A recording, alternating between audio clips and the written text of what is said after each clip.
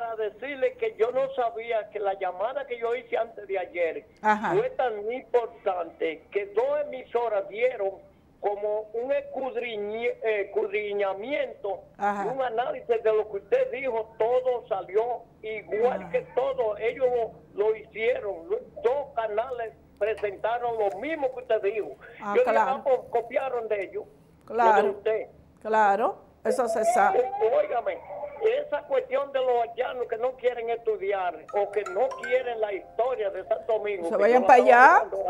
Que se vayan para allá. Voy a decir y se la voy a contestar como bruto que soy. Todo, todo lo que están en nuestro país, o, o decir lo antipatriota eso, deben de irse a su país a estudiar, porque si en Santo Domingo ellos no les gusta su estudio, que se vayan a su país a estudiar, porque quien trajo todo esa rata de por allá fue Leonel que le hizo hasta universidad y entonces la cogieron.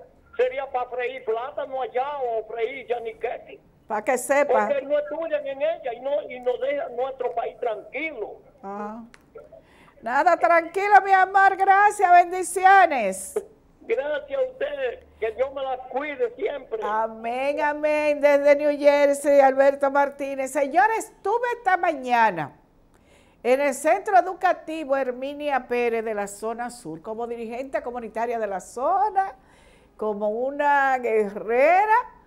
Nosotros no podemos dejar que las cosas sucedan en nuestra zona. Me disculpan con los teléfonos ahora, porque es la, el problema es que nuestros niños, el INAVIE dice que no hay ningún tipo de intoxicación de la alimentaria con la leche de los niños, pero fueron 50 niños aproximadamente que sintieron malestar estomacal, que sintieron vómito, dolor de barriga, eh, diarrea y obviamente ellos consumieron la leche, o dice la directora, o el pan, el desayuno escolar.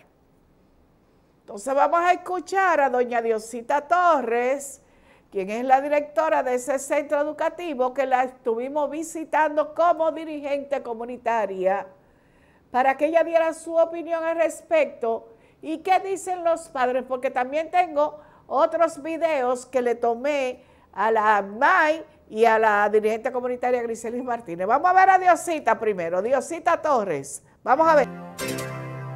A los estudiantes que presentaron el malestar eh, están integrados en sus aulas en el día de hoy, previo a un levantamiento que hicimos a primera hora.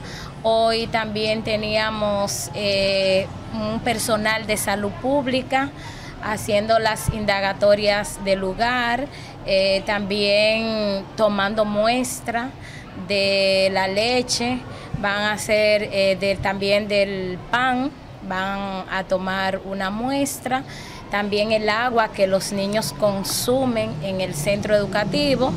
Eh, van a hacer esas investigaciones del lugar para determinar en realidad qué fue lo que pasó con los estudiantes. Cabe destacar que ayer se manejó eh, una intoxicación. En todo caso, eh, cuando me expresé con la prensa, no hablé de intoxicación en ningún momento. Sí hablé de que los niños habían presentado algún tipo de malestar, como fueron vómitos, diarrea, dolor de estómago, pero ningún, en ningún caso dijimos de intoxicación porque los niños, eh, una parte se quedó en el centro, otros fueron enviados a la casa, entonces ya en el día de hoy fueron eh, enviados al centro, pero ningún caso diagnosticado, eh, fue hospitalizado, perdón, no fue ningún niño hospitalizado ante esta situación. Lo que hasta el momento la situación está totalmente bajo control. Sí, la leche está suspendida por el departamento de INAVIE. Dice Diosita que el agua eh, está, y hay unas imágenes que nosotros vamos a ver, que el agua, ellos montaron unos filtros y unas instalaciones hace unos tres o cuatro días. Bello, el asunto de del sistema del agua está en los videos para que la gente lo vea. Vamos a ver entonces a la dirigente comunitaria Griselis Martínez su opinión con relación a lo que pasó en el Centro Educativo Herminia Pérez. Y cabe destacar que doña Griselis Martínez fue 22 años, fue fundadora de ese centro desde el año 1970, donde ahí nada más pasaban vaca y burro y caballo. Se hizo, eso Monte y Culebra, se daba clase del Club Hermanos Patiño y de ahí salió el centro de Mina Pérez y ella duró 22 años. De esos 22 años, 11 como profesora y 11 como directora del centro educativo. Esa sí tiene material para poder hablar con propiedad de lo que pasa en ese centro educativo Herminia Pérez. Vamos a verlo. La verdad que eso nos preocupó bastante cuando supimos eso porque estamos lidiando niños, niños que no saben, con hambre, con necesidades. Y por lo tanto, hay que tomar muchas de las medidas para evitar que casos como eso no solamente ocurran aquí en esta escuela, sino en ninguna.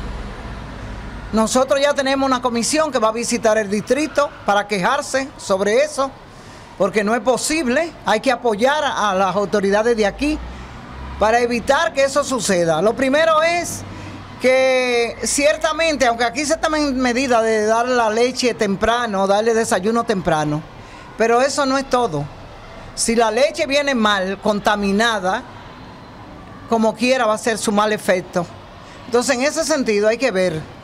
Si hay que cambiar de compañía, se cambia de compañía. Porque educación está pagando un dineral por esos alimentos. No es regalado.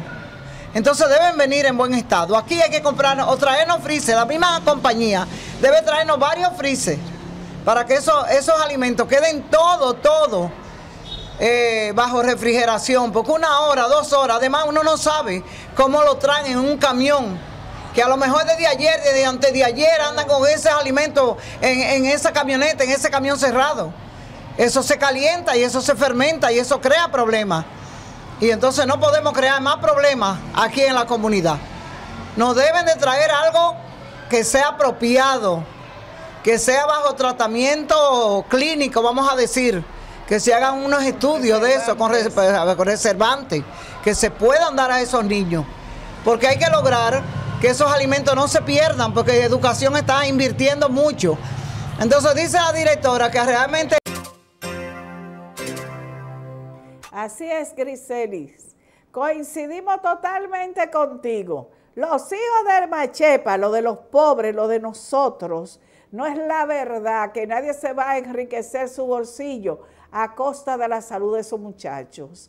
Para eso estamos nosotros allí, para defender a la población. Y ese suplidor que es que una gente de la línea noroeste, y hay una foto ahí de la leche, va, ponme la foto de la leche. Es un queso. Y dicen que esa leche es una fórmula, porque no es leche nada, mírenlo ahí, es un queso ahí adentro, bello. Y esa leche de que, que es con agua de arroz, con avena, y eso es lo que le están dando a los muchachos. Vamos a ver la, la presidenta de la ATMAI, la, representante de la ATMAI, Eunice Benítez, su opinión con respecto a lo que dice la sociedad de padres del centro de Minia Pérez. Vamos a verla. Mi nombre es Eunice. Eh, claro que sí, la leche está haciendo daño, es la avena que está haciendo daño a la leche en general y los niños vienen de ingerir esa leche y vienen, me duele la barriga, tengo vómito, tengo náusea y es la leche en realidad que le está haciendo daño a los niños. Usted nos decía también de que el producto rápidamente se fermenta. ¿Qué tiempo más o menos dura el producto luego de que lo traen aquí para fermentarse? Ellos llegan a las 7 de la mañana, ya a 7 y pico ya están dándoles desayuno a los niños.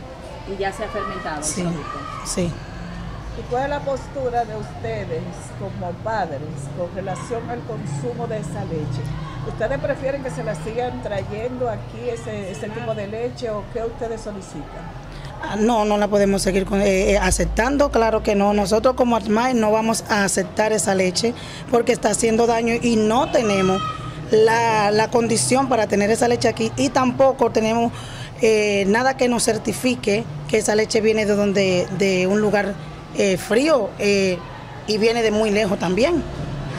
O sea que según la directora, eh, el suplidor dice que le va a traer unos freezer. No lo vamos a aceptar como sociedad de padres, como padres no aceptamos ningún tipo de freezer, ningún, ninguna nevera, lo que queremos es otro tipo de, leche, de otro suplidor que no sea esa. Que tenga la garantía de calidad. La garantía de calidad. Claro, necesitamos un producto de calidad para nuestros niños porque tenemos que velar por ello. Eso es lo que necesitamos ella dice que ella tiene la firma de todos los padres que tienen alumnos ahí dentro de ese centro educativo, donde ellos se van a empantalonar y no van a recibir. Hoy dijo la directora que no estaban suministrando el desayuno porque se estaba eh, eh, analizando, pero ellos no quieren más esa leche ahí, así que arreglen eso. Señores, acabó el tiempo, no puedo coger la llamada porque se acabó el tiempo. Así es que seguiremos con ese tema porque nos tienen a nosotros aquí de frente y con la bota puesta para echar el pleito y defender a esos muchachos de la zona sur. Nos vemos.